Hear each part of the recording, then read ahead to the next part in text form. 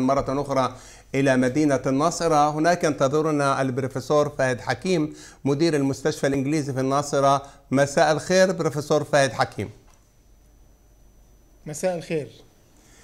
عزيزي طبعا ربما لم تسمع ما قاله الوزير آه، إدرشتاين ولكن ما هي الأسباب حسب رأيك التي حدت بالحكومة إلى آه، العودة إلى نهج الإغلاق؟ هل الخوف من فقدان السيطرة على المرض أم انهيار المنظومة الصحية أم إبطاء تفشي ظاهرة الكورونا هذه؟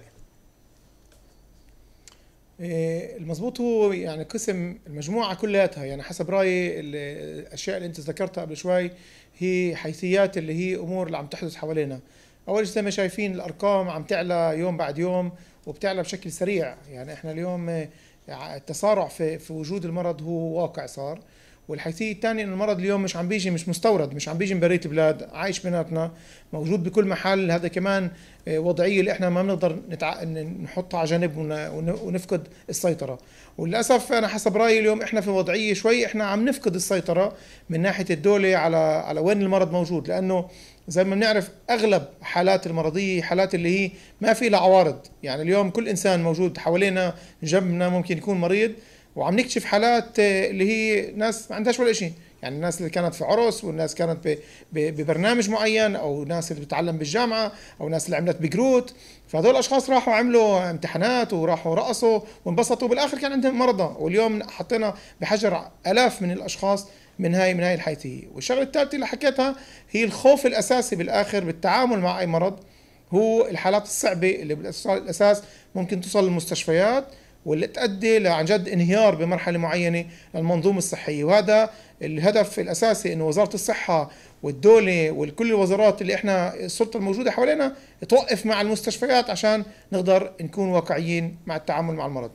بروفيسور فهد حكيم سؤال يعني من حديث الوزير يفهم بأنه كان من الأفضل لو آه، أعطوا كمان فرصة قبل ما يفتحوا آه، المجال للمجتمع الإسرائيلي للخروج آه، إلى آه، التخلي عن آه، هذا الوباء. يعني كان أفضل أنه يمدوا الفترة أكثر؟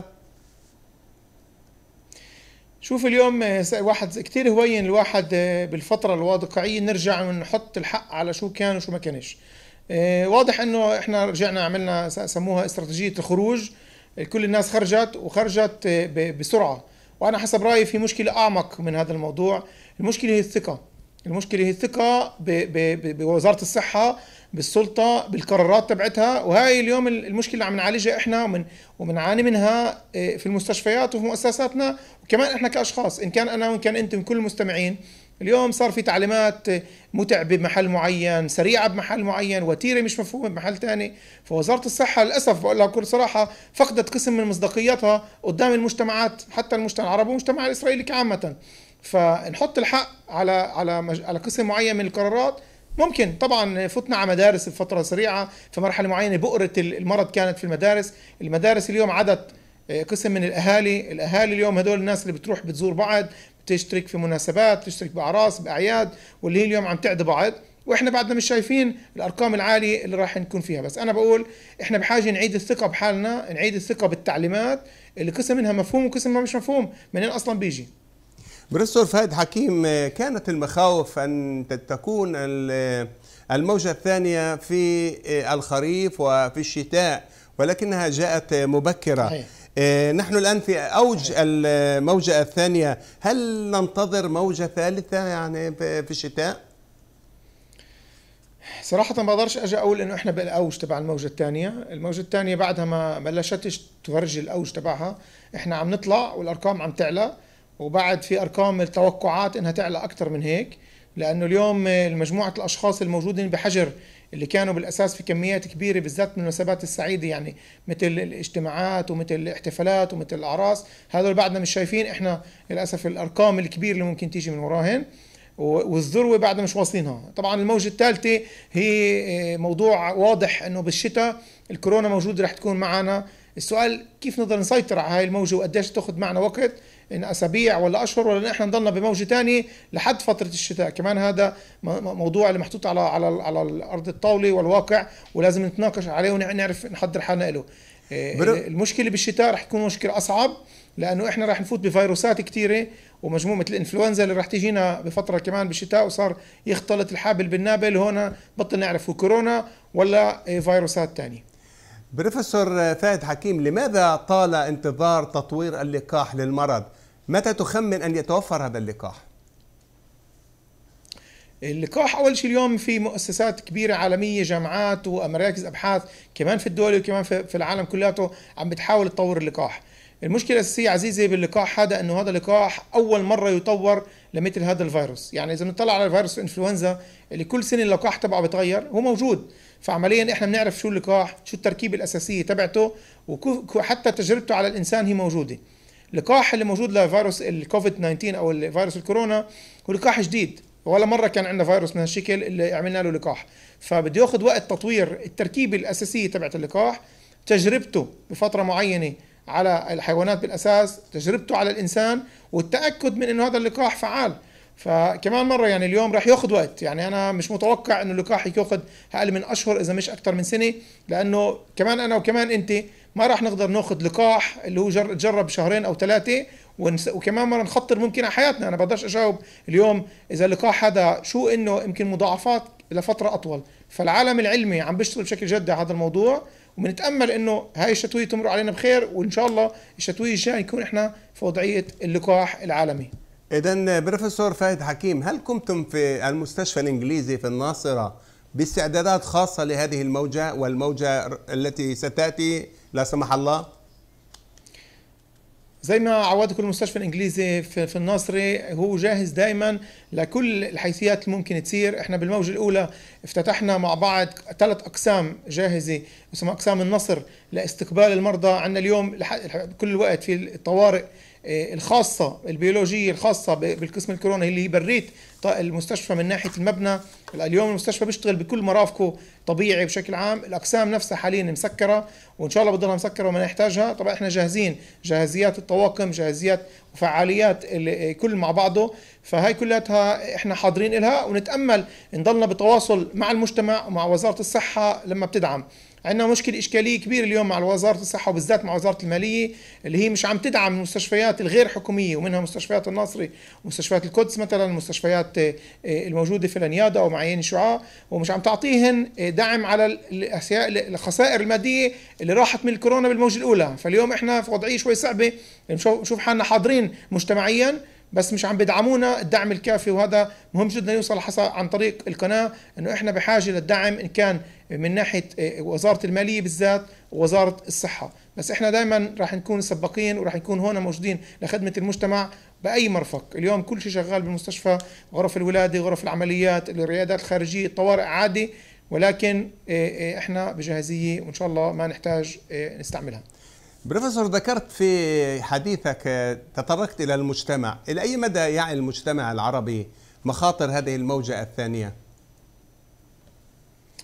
للأسف بالوضعية الحالية مش بس المجتمع العربي كل المجتمع بشكل عام مش شايف بعده الحيثيات الأساسية تبعت تبعت الموجة الثانية والتطورات اللي عم بتصير بشكل سريع.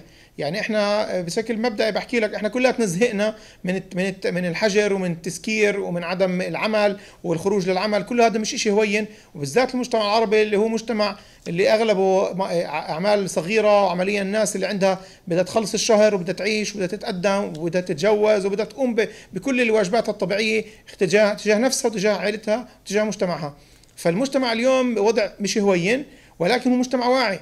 اللي اللي صار معنا بالموجة الأولى قدرنا بمرحلة سريعة إنه نستوعب إنه هذا الشيء موجود واليوم هو موجود بيننا وبين بيوتنا بحاراتنا ببيوتنا موجود. ولكن إذا إحنا اليوم نهتمش أكثر وأكثر أنا بديش حالة خوف وهلع. ولكن حاله ترقب وحاله من القلق. ممنوع إحنا نتجاهل هذا الإشي وممنوع نحطه على جنب إيه الحمد لله بيوتنا بعدها نظيفة وخلينا نحافظ عليها. وأنا دائما ما بقول دائما أنا بقدر أعديك وأنت بتقدر تعديني بس أنا كمان بقدر أحميك وأنت كمان تقدر تحميني.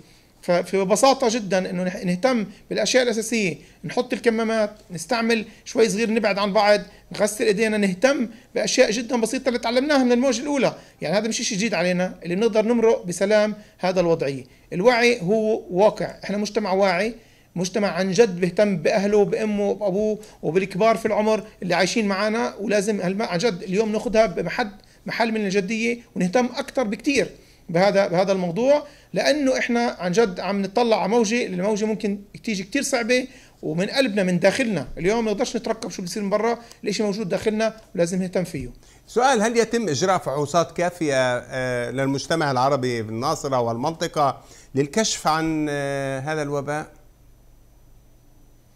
إيه إيه شوف اليوم بكل بكل مرافق الدولة في في فحوصات فحوصات اليوم الاساس عم بتروح عن طريق صناديق المرضى اللي أخذت مسؤولية كبيرة عليها إنها ت- تقدم فحوصات كل إنسان سامعنا حاسس إنه عنده في إمكانية يكون انعدى حتى لو ما عندوش أي عوارض اليوم مسموح يروح عن طريق طبيب العيلة يطلب إنه ينفحص وهذا الإشي بتقدم له. إذا وصل على مستشفى بحالة طبعا وضعية صعبة أو وضعية بحاجة ينفحص كمان في المؤسسات إنه نفحص إحنا اليوم في المستشفى الإنجليزي عندنا مختبر جديد اللي افتتحناه قبل جمعتين اللي بيفحص الفحص السريع في الحالات الخاصة. يعني خلال 45 دقيقة بنقدر نعرف إذا المرض موجود ولا لا. طبعا هاي حالات خاصة جدا اللي بنستعمل هذا الجهاز.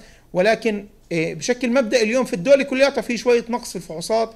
وزارة الصحة اليوم في وضعية اللي فيه كمان حتى شوية مواد للفحوصات في نقص فيها بشكل كامل بالدولة. وهي كمان مقلقة جدا حالة مقلقة جدا اللي كمان طالبنا فيها من وزير الصحة ومن المدير عام الوزارة إنه سريع يقدموا يجيبوا المواد اللي بحاجة لها كمان عشان المجتمع العربي يأخذ حقه زي المجتمعات الثانية بروفيسور آه، فهد حكيم نريد أن نسأل طبعا نحن في هذه في هذا الوباء المنتشر نريد أن نسأل نجدد دائما نجدد آه، تحذيرات للجمهور العربي في هذه البلاد والجمهور بشكل عام عن ماذا عليهم أن. يفعلوا آه، كيف يتجنبوا كيف كل هذه الأشياء ذكرناها ولكن من المفيد أن نكررها أكثر من مرة اذا ماذا تنصحهم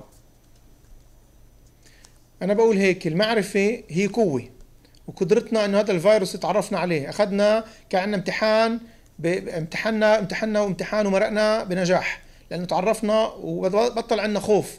اليوم إحنا مش بهلع مش بخوف مش بقلق ولكن مهم جدا إنه نح نعرف إنه هذا الفيروس ممكن يجي من من من من داخلنا. يفوت من الباب مرات يفوت من الشباك اليوم. اليوم أي إنسان شايفه أنا لا عنده عوارض ولا عنده أي مشكلة ممكن يعديني. فكتير مهم إنه إحنا نحافظ على البعد الاجتماعي نحافظ على المترين قبل بعض نحط الكمامة. الكمامة جدا جدا جدا مهمة عشان أنا أحمي اللي قبالي واللي قبالي يحميني. ونفس الوقت نحافظ على سلوكياتنا الاجتماعية. اليوم بترجاكم بشكل شخصي أنه نهتم بكبار السن نهتم بالمجموعات اللي عندها أمراض خاصة ونبعد عنها ونجمعهاش بالقوة في محلات اللي ممكن تأذيها. نهتم بتعليمات وزارة الصحة لأنها هي مش حاططها عشان جاء عبالها حتى من ناحية الأعراس حتى من ناحية التجمعات. اليوم تسكرت القاعات للأسف الناس راحت صارت تعمل أعراس في, في, في البيوت وفي في الحارات وفي الشوارع. فهذا كلياته شيء رح يأذينا بالآخر وهذا رح يعود علينا كمجتمع رح قنبلة ارتفاع بوجهنا. خلينا نكون نكون إحنا قدوة زي ما كنا بال- بالموجة الأولى وزي ما تعودنا دائما نكون قدوة وسباقين قدام المجتمعات اللي حوالينا. إحنا مجتمع قوي مجتمع إيه، فهمان وإن شاء الله ربنا بيكون معنا وبنصرنا كمان مرة بالموجة هاي. شكرا لك بروفيسور فهد حكيم. كنت معنا في بث حي ومباشر من مدينة الناصرة. شكرا. إذا أعزائي المشاهدين سنعود. إلى ضيفنا آه، في الاستوديو آه، بعد أن نخرج إلى فاصل ثم نعود